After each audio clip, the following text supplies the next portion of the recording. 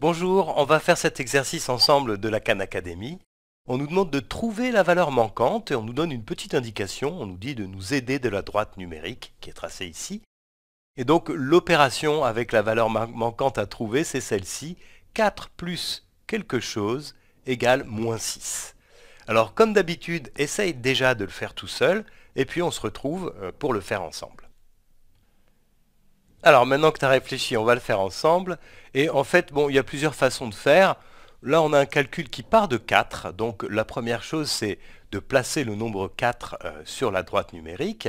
Donc ici, c'est 0, 1, 2, 3, 4, 5. Donc là, c'est 4. Et ensuite, on va ajouter quelque chose pour arriver au nombre moins 6. Alors le nombre moins 6, celui-ci, je vais le placer aussi donc ici c'est moins 1, moins 2, moins 3, moins 4, moins 5. Moins 6 c'est là. Ça c'est moins 6. Et donc j'ai dit tout à l'heure que ici c'était 4. Voilà. Alors maintenant on va essayer de trouver ce qu'on doit ajouter à 4 pour arriver jusqu'à moins 6. Et en fait ce qu'on fait c'est partir de 4 ici et se déplacer comme cela, donc vers la gauche, jusqu'ici. Hein. Alors si on se déplace vers la gauche, effectivement, ce qu'on va faire, c'est en fait ajouter un nombre négatif. Si on ajoute un nombre positif, on se déplace vers la droite. Ici, comme on se déplace vers la gauche, ça veut dire qu'on ajoute un nombre négatif. Alors quel nombre négatif? Eh bien pour le savoir, il suffit de regarder de combien d'unités on va se déplacer vers la gauche. Alors on peut le faire ici. En partant de 4, on se déplace de 1 unité vers la gauche. 2, 3, 4, 5, 6, 7, 8, 9, 10. Donc on se déplace de 10 unités vers la gauche, c'est-à-dire qu'on ajoute le nombre moins 10. Donc ici, ce qu'il faut écrire, c'est moins 10. Alors je vais même le mettre entre parenthèses, hein, ça sera plus joli comme ça. 4 plus moins 10 égale moins 6. Alors une autre façon de faire, ça aurait été de décomposer notre addition. Déjà, si je pars de 4 et que j'enlève 4, je vais arriver ici. Hein. Donc là, je me suis déplacé de 4 unités vers la gauche, j'arrive à 0.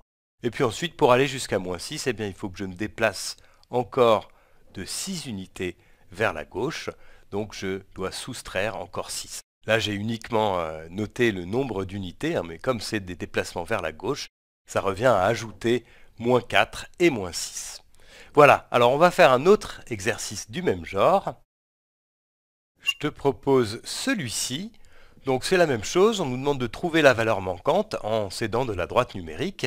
Et cette fois-ci, on a cette opération-là, moins 3 égale quelque chose plus 5.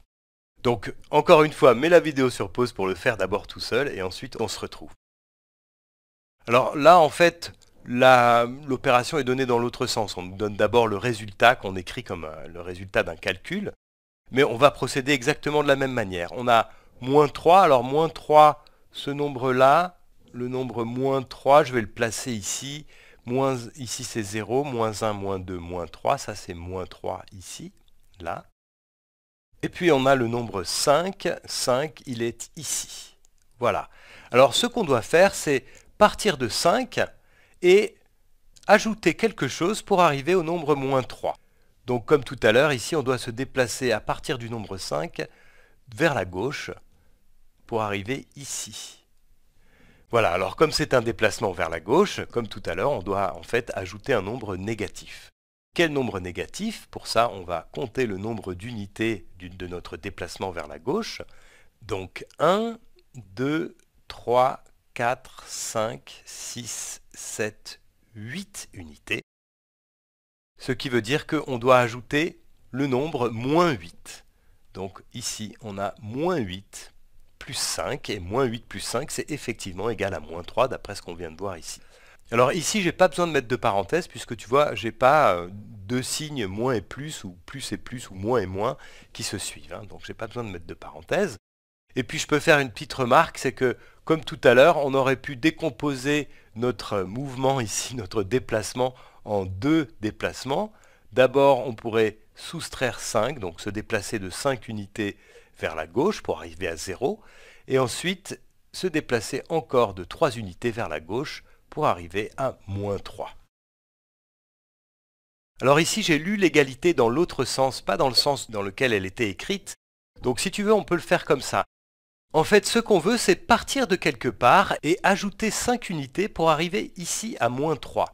Donc on pourrait le faire comme ça. Hein. Je pourrais tracer une flèche de 5 unités qui arrive à moins 3. Donc je vais le faire comme ça. 1, 2, 3, 4, 5. Voilà, comme ça. Et donc tu vois que l'extrémité de départ de ma flèche, elle arrive ici. Et ici, c'est effectivement le nombre moins 8. Hein. On a moins 5, moins 6, moins 7, moins 8. Ça, c'est moins 8. Et donc on retrouve exactement le même résultat que tout à l'heure. Moins 8 plus 5, c'est égal à moins 3.